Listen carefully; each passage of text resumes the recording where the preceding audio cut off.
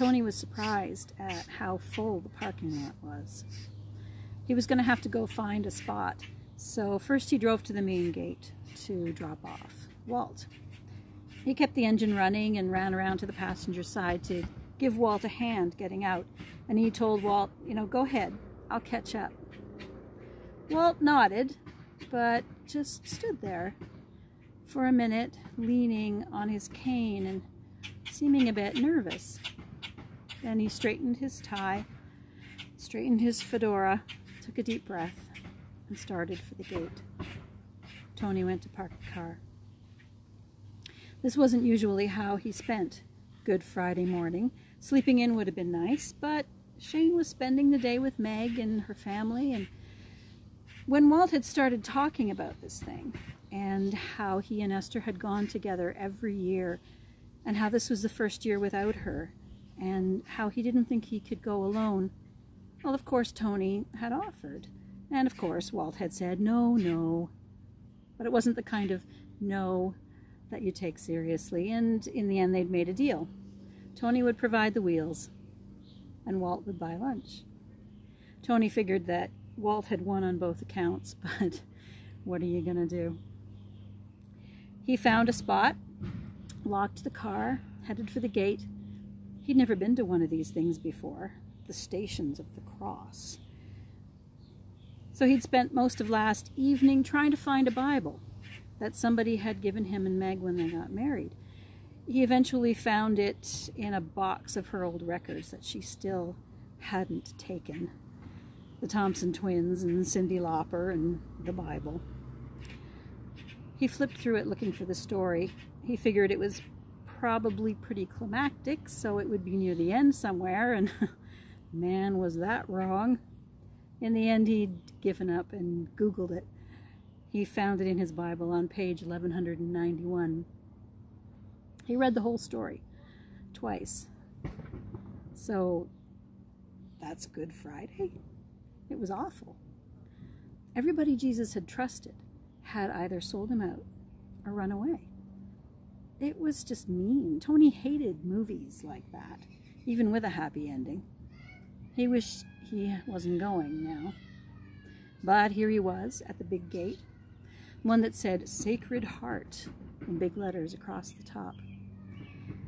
Just inside there was a path that split left and right through the trees, and right in the center of the fork was a big bronze statue, life-size, and people sitting on benches all around it.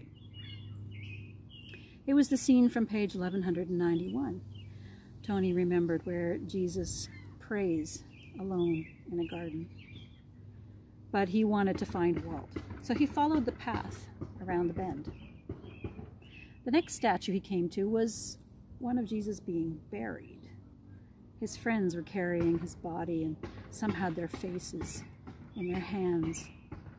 The next one was Jesus' body being taken down from the cross, and Tony realized that he must be going in the wrong direction, but he stopped long enough to take a look. Jesus' eyes were open and empty, the eyes of the dead.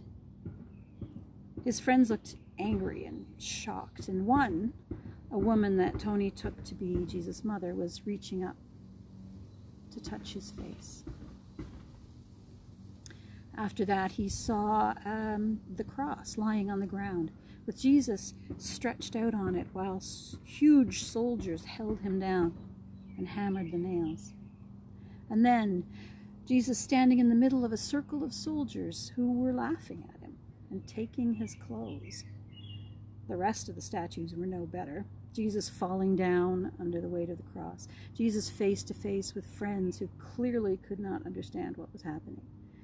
The fear on their faces, they must have felt so lost, so confused. Eventually, he found Walt back near the beginning of the story, at the statue showing the scene where Jesus has just got his death sentence. Tony was struck by how calm Jesus looked. Not like he'd given up, not like he'd lost, but like he really knew that it was going to be okay. like he was where he was supposed to be and he was just waiting for everybody else to catch up. Walt was sitting on the bench, both hands holding his cane across his knees, completely focused on that bronze face. The place was so quiet. Bit of traffic, a few birds, footsteps, but quiet. Like Remembrance Day. Walt sat with his head tilted just slightly and a smile in his eyes, looking more like himself than Tony had seen him in months. It was Shane who had adopted Walt and Esther when he was 12. He'd gone out looking to make some cash after a snowstorm, and an hour after he headed out, the phone had rung, and Shane, on the other end, said these really nice, really old people had paid him 20 bucks to shovel their walk and invited him in for hot chocolate, and he was standing on their front porch because he knew better than to go into a stranger's house, but they were really nice and really old. And was it okay?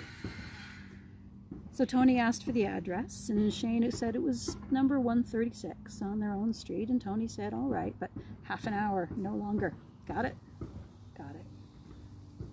Ever since then, Shane had been helping out with their garden or the snow and staying for lemonade or for hot chocolate.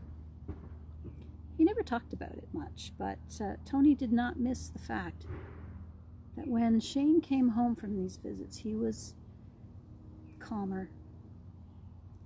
Tony had mixed feelings about the whole thing, but now with how tense things were at home, mostly he was grateful to these really nice, really old people for giving his son a bit of peace. And now, two winters later, Esther was gone. And Meg was gone, although not entirely gone enough sometimes. And here was Tony chewing his nails, dying for a smoke, and there was Walt, lost in a moment that Tony didn't understand. Walt and Esther had loved each other more than Tony had thought humanly possible till the day the ambulance was in their driveway. And Walt's love of 57 years was just gone. Tony headed for the gate. He decided he'd wait for Walt there. There was some space now on the bench near the first statue, and it was cold against his legs, so he pulled his coat down as he took a seat. The statue seemed bigger now. A man in a long robe, barefoot, on his knees, collapsed over a boulder with his face buried in the crook of one arm and the other curled over the back of his head. His fingers were clenched in his hair, his shoulders hunched up, his toes digging into the dirt. He looked terrified of what? Of what he had to do? Of not having done enough? Of being alone? Of course, he wasn't alone. Somebody had written down what he said. Somebody who cared enough to stick around, but didn't know what to say or how to help, what to do. Somebody who probably would have tried to stop him if they'd known. Somebody who just knew that he was in pain, but couldn't walk away. And Tony wondered about that silent watcher, watching his friend suffer. Just like Tony had watched his son suffer as his parents' marriage fell apart. Just as he'd watched Walt suffer in the ambulance, holding Esther's hand, saying goodbye, just being there, helpless. But how? How, how, how had this man, this Jesus, become the one that Walt was looking at? How had these white knuckles become those calm, relaxed hands? There was something about angels, Tony remembered, but he figured if an angel suddenly started talking to him, he'd feel the need to check himself in somewhere. So there had to be more to it than that. Jesus knew what was coming, and he was determined to stand up and take it. He could have walked away, he could have at least tried, but he didn't because it was too important. Important enough to make himself die for. To die for.